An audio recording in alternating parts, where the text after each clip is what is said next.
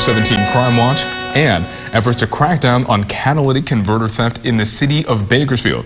It's an exhausting issue for car owners and law enforcement alike, and tonight the Bakersfield City Council moves towards adopting ordinance to allow greater utilities to crack down this theft. 17's Christian Galeno has more.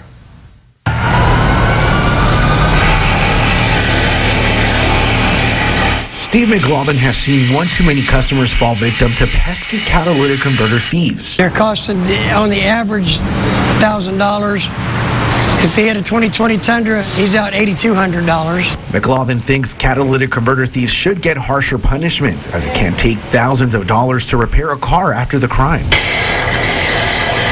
Still resonators, pipes, they cut brake lines, AC lines, oil lines.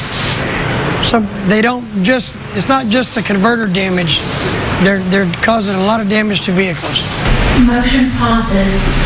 Wednesday evening, the city council took one step closer toward adopting a municipal ordinance modeled after a similar one in the city of Artesia in LA County, which would allow prosecutors to charge catalytic converter thieves with a misdemeanor if they don't have proper documentation of ownership. But ultimately, we know that this is a huge problem. Ward 2 Councilmember Andrae Gonzales believes there is a gap between car manufacturers and law enforcement to deter the crime. He thinks the ordinance will help fill that gap or at least serve as a warning shot to criminals. We have to do something.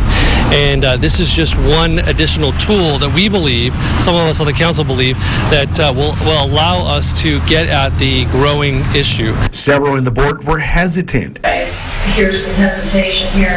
weighing the constitutionality of the ordinance and questioning if this would create legal headaches for the city. But after more than an hour of deliberation, the council Mayor, voted Vice four to Mayor, three to Council. move forward with this proposal. The first Arby's draft will be read at the council's August meeting, and if all goes as planned, the ordinance would go into effect as early as September 31st. I'm hoping that uh, Sacramento uh, comes up with uh, some state legislation that will put more teeth into addressing this particular issue. Several bills targeting the crime are working their way to the governor's desk, including one that would require car manufacturers to mark converters with a vehicle ID number starting in 2024. But I don't think that the city of Bakersfield personally should be waiting on Sacramento. I think we need to take a take a step forward and take some action tonight. I have no way of knowing if they are stolen.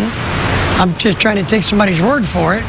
In downtown Bakersfield, Christian Galeno, 17 News.